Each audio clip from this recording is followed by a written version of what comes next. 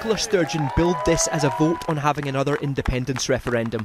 The result in Scotland was decisive. She's now set her yellow SNP juggernaut on a direct collision course with Boris Johnson's Tory blue wall in Westminster. So, to the Prime Minister, let me be very clear. This is not simply a demand that I or the SNP are making. It is the right of the people of Scotland.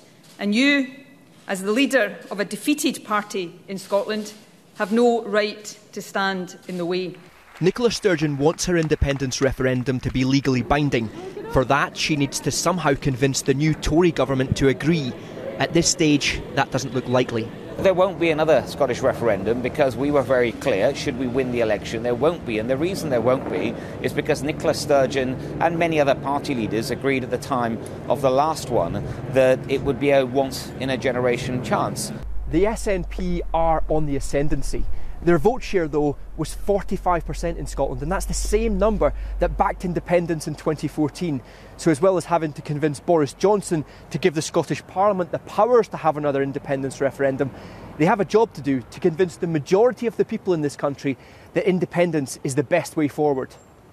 Glasgow is Scotland's biggest city where the SNP won every seat. Many here say they voted first and foremost to stop Boris and his Brexit plan, but the UK result triggers a new debate on independence. I want independence and stuff. I want to get free from all the English stuff. All the Brexit stuff? Yeah. Independent, yes or no? I don't know. To be honest with you, six months ago was yes, five months ago was no, yesterday was yes, it's no. Next week, Nicola Sturgeon will demand her referendum Boris Johnson will deny permission. Both leaders claim mandates that are fundamentally incompatible. This election leaves Scotland and England pulling in different directions, tearing at the seams of the United Kingdom. Peter Smith, ITV News, Edinburgh.